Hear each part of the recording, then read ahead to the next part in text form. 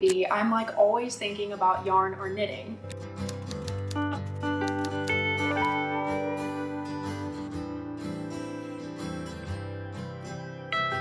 I am just a cable girly. So knitting has really just become my like primary source of comfort. It can be so hard to make friends as an adult.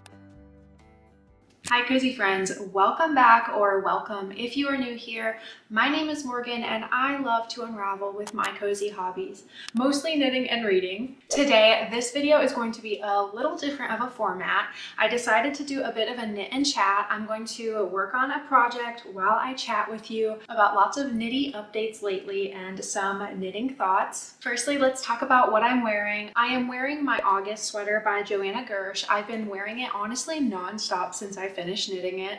I'm so obsessed. It's so cozy. It's the perfect fit and I made it in Maker's Cozy Wool in the color Brown Marl. I am going to be working on the Storm Sweater Junior by PetiteKnit. This is probably my third Junior PetiteKnit sweater I'm making, and this pattern is so similar to the Ingrid Sweater Junior, which I have already made in the past, but I made that one a little bit too small for my son. He didn't get to wear it very long, but I think I might have been knitting it just a little tight. But I have high hopes that this one is going to go a lot better. I am knitting this sweater in Wool in the color Eucalyptus. It is actually the most beautiful sage color and I am so obsessed. I love all things green. I could literally knit every pattern ever in brown or green and happily wear all of them. It always amazes me how quickly these baby knits work up, but I am making this size five to six years because even though my son is only two, he grows so quickly. So I wanna make sure that he can not only wear it this winter, but hopefully next winter as well and I'm already joined in the round for the body. I'm having so much fun working on it and I really think it'll be done in no time. Both the Storm sweater and the Ingrid sweater from PetiteKnit are so addictive. I think chart knitting in itself is so addictive because you just can't wait to get to the next part of the pattern. You just are knitting until the next section and then you're there and you just want to keep going. It's just like that mindset of reading just one more chapter before going to bed and then you end up finishing the book. Speaking of books, I am still a Twisted Crowns, which I was reading in my latest vlog. It is the second book in the Shepherd King series. The first book is called One Dark Window. I am enjoying the second book even more than I enjoyed the first one. There's new perspectives and it's just so good. I love the writing style. It's very atmospheric. It's perfect for it being winter here in Australia. Make sure you let me know down in the comments what you are working on while watching or what you have been reading lately. Speaking of this pattern being so addictive though, I had a whole conversation with my husband about whether or not he thinks I am addicted to knitting. He literally means nothing ill about it, but sometimes he'll like come in the room while he's getting ready for work and my son is playing with his toys first thing in the morning and I'll pick up my knit. He'll be like, are you knitting already? or if we're heading out the door, sometimes I'll throw a project in my bag in case my son ends up asleep in his car seat and I need to hang out in the car waiting for him to wake up. I just always make sure I'm prepared to knit for a few minutes if I'll have the time. He definitely didn't mean anything bad about it and he loves that I knit, especially for our son. He loves putting my knits on our son and he has even been requesting a cardigan recently and I'll definitely be doing a yarn haul in this video because his cardigan yarn just got here today but I was definitely internalizing those comments. Is it getting too obsessive to the point where it's like a problem. Anytime I'm not knitting, I'm either browsing patterns and project planning, shopping yarn or organizing my yarn stash, whatever it may be, I'm like always thinking about yarn or knitting. We both said like this is really my coping mechanism. It truly is an active meditation, but it also helps me keep my hands and my brain active and as someone with anxiety, like that is so crucial to my mental health. As a stay at home mom, it can be really difficult to feel productive in all the mundane tasks. And that is valuable, but it doesn't help me feel productive. Like I've checked off another thing on the list because it's just the day to day things. That can all just feel like you're just a cog in the wheel of life and you're not living. So knitting has really just become my like primary source of comfort for my mental health. And I think that brings so much value, not only to myself, but also to my family because you can't pour into other cups if yours is depleted. And speaking of filling your cup, this channel and my knitting has also allowed me such a sense of community. By making these videos, I am making so many friends who love the same hobbies as me. I actually met my friend Mickey here in Canberra and Hayley from Hayley's Space. She was traveling. She's up here from Melbourne. Sorry, Melbourne. We had a little knit and sip and we knit together.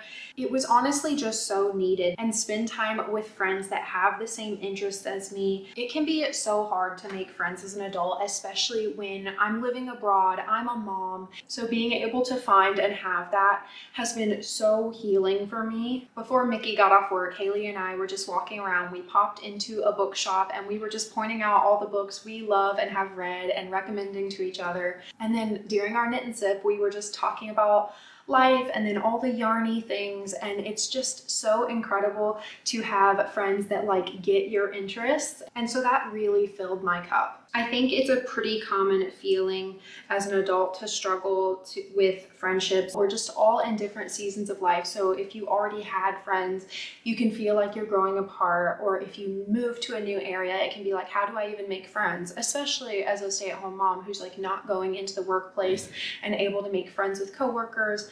Most of my conversations happen with a two-year-old and with my husband. Just being able to step out of mom mode and go be Morgan and hang out with some friends that have a common interests was just so valuable. Like I had said, our paths only crossed because of my YouTube channel, so it genuinely cannot be understated how much value making these videos is bringing my life not only because I feel like I can share my hobbies on here, but also because it's bleeding into my real life and like I'm able to make friends even though I moved across the globe.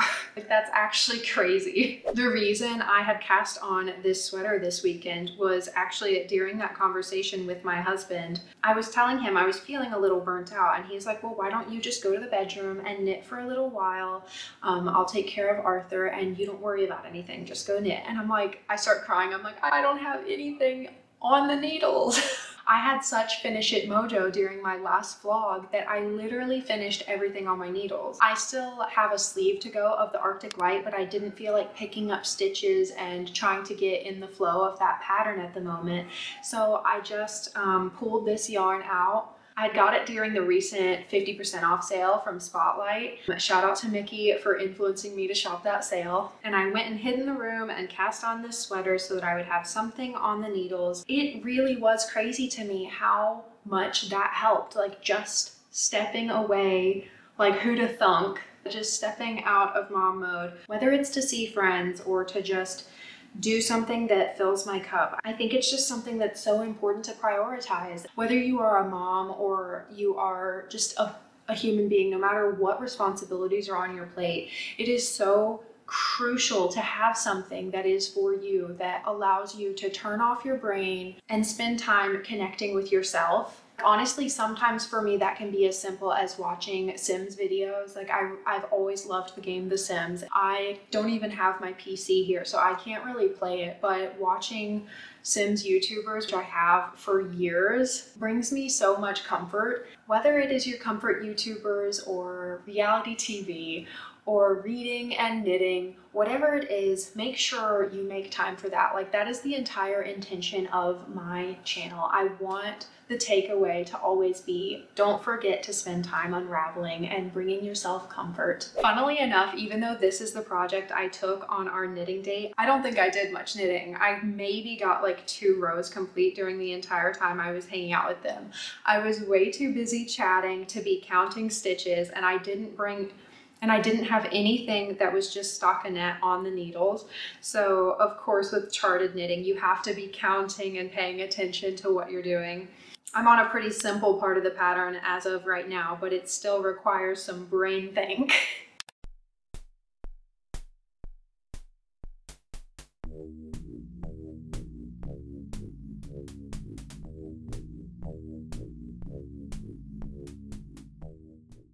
My friend Matilde from Nestled in Knits commented that she was so amazed as a beginner knitter that I am always doing so many mindful knits and I really loved that term. I had not heard it before. I think she was referring to knits that involve like charts and cable work And I found that very funny because those are the kinds of patterns that like relax me the most. It not only allows me to use my hands, but also my brain. And chart knitting actually really helps with your memory, but it really allows me that same escapism, I think, as reading while also keeping my hands busy. So it just feels like the ultimate comfort for me especially cable work and cable knits are my favorite aesthetic as well. I am just a cable girly. We were talking about how Mickey really loves lace work knitting. I love cable work and Hayley loves a good stockinette stitch pattern and color work. She is so good at busting out a color work project. And I find it so interesting that even with the same hobby, we all find different kinds of knits more relaxing. I would love for you to let me know down in the comments what your favorite type of knitting is. Do you like to do cables or color work, stockinette, or lace? I'd love for you to let me know. Another conversation we had was about the idea of a capsule wardrobe. I really want to be knitting things in colors that all work really well together and can be mixed and matched for lots of different outfit variations and just work really well in my wardrobe. I'm such a naturals and neutrals person. Like I said, I could knit everything in like browns, tans, and greens. but I think I want to make a video soon about some of my knitting plans for a capsule wardrobe. I think sweater knitting is really my favorite thing and I'm always saving sweater patterns, but I'd like to spend some time knitting on some more versatile projects that can be worn throughout different seasons as we're going to be going into spring and summer here soon. Mickey, Hayley, and I are going to be doing a buddy knit soon of the Cumulus blouse, which is going to be very, very versatile I'm going to be doing my Cumulus blouse in this yarn. It is the Dolce yarn. I got it on Hobbii and it is a kid mohair in this beautiful dusty rose. Mickey ordered her yarn, so as soon as she gets it, we're going to do a Zoom cast on party and get knitting on it. So I will definitely be talking about that project on here soon. I mentioned I have a yarn haul coming up in this video, and I ordered a ton of yarn, but all of it was just so that I could get some more Wool of the Andes in the color Mink Heather to finish off my book club cardigan. I will make sure to put on the screen what progress I have made on it, but I had to stop with only a few more inches of the button cotton band to go because I ran out of yarn. This pattern eats so much more yarn than I expected and that was stated on the pattern, which is really unfortunate. I think a lot of people are struggling with that issue in the knit along. The knit along deadline is August 10th and I really didn't think my yarn was going to come in time for me to finish by then. So I was pretty disappointed, especially with how quickly I did knit up this cardigan. But my yarn is here, so I'm definitely going to be hunkering down and working on that button band after filming this. But of course, I wasn't going to just order a couple balls of that yarn and pay $20 shipping when I could spend 120 Australian dollars and get free shipping. So Crafty Girl Math says spending more money is saving money. So I got a ton of their Simply Wool in the color Winnie. I'm going to be using this yarn to make my husband the Slade cardigan and then whatever is left over, I'm definitely gonna make a cardigan for myself. I ordered so much of it because it was on a 50% off sale as well. I really did save so much money on ordering them, but obviously I spent money I didn't need to spend. But Crafty Girl Math allows me to justify this purchase and honestly, it's an investment in my hobby. His cardigan is very high up on my queue. I might be starting it next. I'm just waiting on my yarn Swift to come in. I got a yarn ball winder, but my Swift hasn't gotten here yet. The last time I tried to wind up a hank like this and I didn't have a Swift, I had it wrapped around my knees while trying to wind up the yarn and it was honestly an insane core workout so I'm going to not be doing that again. But I think that's going to be just about all for this knit and chat. Please let me know down in the comments if you enjoyed this knit and chat style. This felt like such a nice way to sit and catch up and knit during my son's nap. If you enjoyed, please don't forget to hit the like button, and if you're not already, subscribe so you don't miss future cozy videos. If we aren't already, make sure you add me on Instagram so that we can be friends. Thank you so much for unraveling with me, and don't forget to do something that brings you comfort today. I will be wishing you a very cozy week.